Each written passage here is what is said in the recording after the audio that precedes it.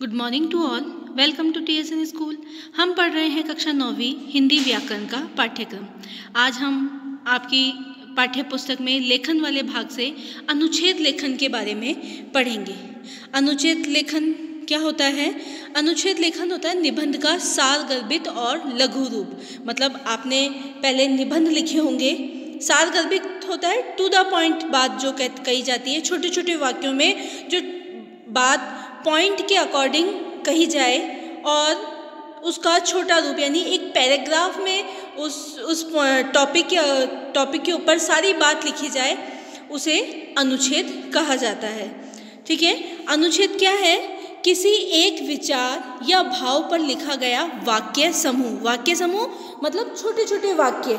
छोटे छोटे वाक्यों का जो समूह होगा और किसी एक भाव या विचार पर, यानी कोई एक टॉपिक आपको दे दिया जाएगा, उस टॉपिक पर ही आपको वो अनुच्छेद लिखना है। उसे अनुच्छेद कहते हैं। ठीक है? उसके बाद है, किसी भाव या विचार को अपने अर्जित ज्ञान व अनुभूति में संजोकर आप अपनी प्रभावशाली जो भाषा, प्रभाव में जो भाषा शैली है, उसमें अभिव्यक्त करना ही क्या कहलाता है? अनुच्छेद कहलाता है। इसमें निबंध में किसी विषय से संबंधित तथ्यों, विचारों, सामग्री को क्रमबद्ध और व्यवस्थित रूप से अलग अलग अनुच्छेदों में विभक्त करके प्रस्तुत किया जाता है। ठीक है? इसमें क्या है कि आपको जो भी आपको टॉपिक दिया गया है, उसके आधार पर जो भी संबंधित तथ्य हैं, कोई आपको लाइन लिखनी है, कोई सुक्तियाँ लिखनी है, कोई कहावत लिखनी है, संकेत के आधार पर उसको लिखकर आप उस, जो आपको विषय दिया गया है, उसके आधार पर आप उसे समझा सकते हैं। लेकिन ये जो सुक्तियाँ कहावत है, इसको आप कहानी के रूप में ना लिखें। एक दो लाइन में लिखकर उसको फिनिश कर दें।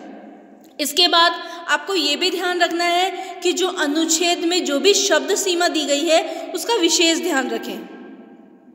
शब्द सीमा का विशेष ध्यान रखें, किस प्रकार आपको अनुच्छेद लिखना है। आप, अगर आपके शब्द, शब्दों की सीमा 80 से 100 शब्दों की है तो आपको उसी आधार पर उस पैराग्राफ को लिखना है। पूरी विषय वस्तु का निचोड़ उसी शब्दों में आ जाना चाहिए। उसका आकार बड़ा नहीं होना चाहिए, सीमित शब्दों में ही आपका उसको प्रयोग करना है।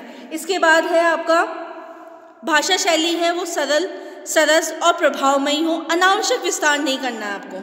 ठीक है, इसमें आप सुक्तियों उदाहरण घटनाओं, उदाहरणों, प्रसंगों आदि का उल्लेख मतलब आप इन चीज़ों का उल्लेख कर सकते हैं, लेकिन इनको कैसे करेंगे? कम शब्दों में करेंगे। कहानी के रूप में आपको इनको नहीं लिखना है। वाक्य छोटे छोटे होने चाहिए। सारगर्भित यानी टू द पॉइंट आपको बात करनी है। इसके बाद जो भी आप निबंध में पहले उपसंहार या भूमिका, निष्कर्ष लिखते थे ना पहले आप पहले निबंध लिखते समय विषय वस्तु की भूमिका तैयार कर रहे हैं, फिर उसके बाद कब, कहाँ, कैसे, ये जो जो भी विषय पे आपको निबंध लिखना होता है उसके बारे में बताएँगे। फिर उसका जो निष्कर्ष होता है उसका एक अलग पैराग्राफ, यानी तीन चार पैराग्राफ में आप निबंध की रचना करते हैं। लेकिन अनुच्छेद में आपको एक ही पैराग्राफ के अंतर्गत पूरी बातों का समावेश करना है। अनुच्छेद भले ही सीमित शब्दों में लिखा जाता हो, परंतु उसमें विषय से संबंधित सभी महत्वपूर्ण बातों का समावेश होना चाहिए। मतलब आपको कहानी के तौर पे नहीं लिखना है, जो भी इंपॉर्टेंट इंपॉर्टेंट बातें हैं, जो भी इंपॉर्टेंट लाइन है, जैसे चार लाइन है तो उसको एक लाइन में संक्षिप्त रूप में किस प्रकार लिख सके, उसी प्रकार आपको अनुच्छेद की रचना करनी है। अनुच्छेद लिखते समय आप इस कबीर का जो दोहा है, सार सार गाही गए थोथा दही उड़ाए। मतलब सारांश सारांश की गाथा है। सार गर्भित बातों का समावेश होना चाहिए। थोती बातों को क्या कर देना चाहिए? उड़ा देना चाहिए। है ना? अब आपका जो अनुच्छेद का मूल्यांकन है, वो किन आधार पर किया जाता है? जैसे विषय वस्तु है, उसका आपको तीन नंबर है। प्रस्तुतिकरण,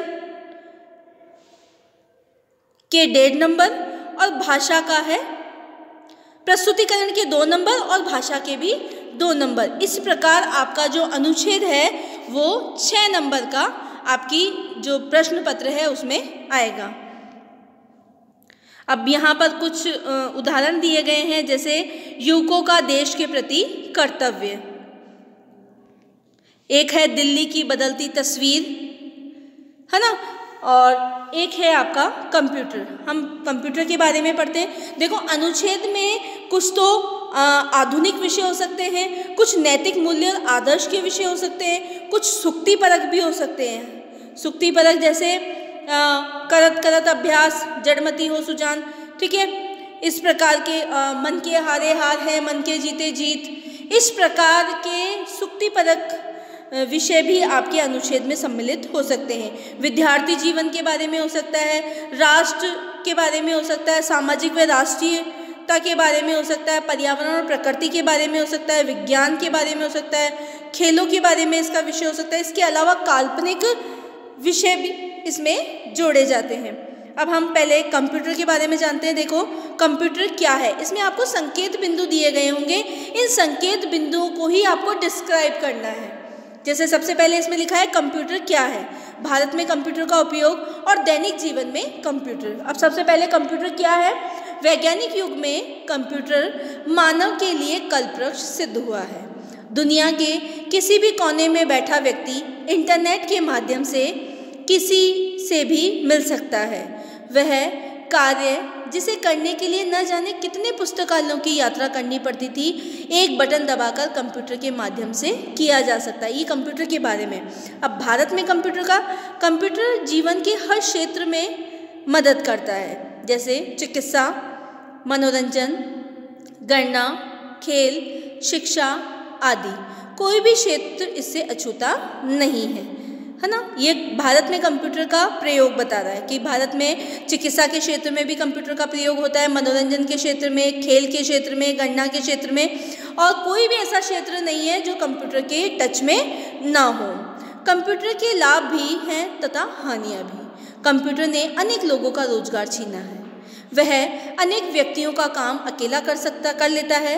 कंप्यूटर पर लगातार काम करते रहने से आँखों पर दबाव पड़ता है। बच्चे एकाकी प्रवृत्ति एकाकी प्रवृत्ति मतलब अकेलेपन में रहना उनको ज़्यादा अच्छा लग रहा है, क्योंकि आजकल इतने अलग अलग तरह के गैजेट्स आ चुके हैं। मोबाइल फ़ोन उसमें भी बच्चे गेम खेलते रहते हैं कंप्यूटर लैपटॉप तो इस तरह से बच्चे आ, सामाजिक ना होकर एकाकी प्रवृत्ति एकाकी प्रवृत्ति मतलब अकेलेपन का शिकार हो रहे हैं। कंप्यूटर का प्रयोग आवश्यकता अनुसार करने पर यह वरदान सिद्ध हो सकता है। अगर आप बिना समय को व्यर्थ किए अगर अपनी आवश्यकता के आधार पर ही अगर कंप्यूटर का प्रयोग करते हैं तो वो वरदान है। लेकिन अगर हर समय, हर चीज़ में आप अगर कंप्यूटर का प्रयोग करेंगे तो वो आपके लिए क्या हो सकता है? आपको एकाकी प्रवृत्ति का बना देता है। इसके बाद देखो, जो सुक्ति पदक हैं, उसमें हम देखते हैं, जैसे मन के हारे हार है, मन के जीते जीत। अब इसमें देखो इसमें मन के दो पक्ष दिए हैं, संकेत बिंदु में, मन की शक्ति असीम, मन विजय। अब हम इसका अनुच्छेद पढ़ते हैं। मनुष्य का मन ही उसे बलवान बनाता है और वही कायर मनुष्य के दो दो पक्ष कौन से हो गए? एक तो मनुष्य का मन उसको बलवान बनाता है और दूसरा कायर मनुष्य तब तक हारता नहीं है जब तक उसका मन सबल हो। सबल मतलब शक्तिशाली हो। शरीर को काटा अथवा जलाया जा सकता है, परंतु मन को नहीं। देखने में तो हाथी सिंह से आकार प्रकार में बहुत बड़ा होता है, बड़ा है, पर उसमें लड़ने की वह इच्छा शक्ति नहीं है जो उसे विजय दिला सके। मन की शुद्धता को जीत कर ही अर्जुन अजय बना था। शरीर की शक्ति सीमित है, परंतु मन की शक्ति असीम है। मतलब मन मन जो सोचता है वो असीम, बिना सीमा के सोच सकता है। प्रबल इच्छा शक्ति और दृढ़ निश्चय से मनुष्य असंभव को संभव कर दिखाता है। गुरु नानक ने कहा है, मन मन जीते, जग जीते। गुरु नानक जी ने क्या कहा, अगर आपने मन को जीत लिया तो आप इस संसार को जीत सकते हैं। किसी भी कार्य की सफलता के लिए साधनों की अपेक्षा मनोबल की अधिक आवश्यकता होती है। जय, पराजय, सुख दुख, लाभ, हानि, ये सब मन की कल्पनाएँ हैं। मनोविज्ञान में मन की शक्ति के सहारे दूसरों को पूरी तरह वशीभूत किया जा सकता है। जिस व्यक्ति ने अपने मन को नियंत्रित कर लिया, वह सबको वश में कर सकता है। अगर उसने अपने मन को मना लिया तो वह किसी भी चीज़ को अपने वश में कर सकता है। अगर आपका मन आपके वश में है तो सारा संसार, सारी दुनिया आपके वश में हो सकती है। मृत्यु से जुड़ते, जूझने का उत्साह, संकट में धैर्य तथा दुख के समय साहस मनोबल से ही मिलता है। ये सब क्या है? मन। मन के हारे हार। अगर आपका मन हार गया तो आप भी हार गए। और अगर आपका मन जीत गया तो आप पूरे संसार को जीत सकते हैं। इस प्रकार ये जो अनुच्छेद हैं अलग अलग पैराग्राफ अलग अलग विषयों के आधार पर दिए गए हैं। जैसे परहित सरिस, धर्म नहीं भाई। यानी दूसरों की भलाई करना क्या है? सबसे बड़ा धर्म है। इस प्रकार आपको सुक्तियों के आधार पर भी अनुच्छेद की रचना करने को मिल सकते हैं। धन्यवाद।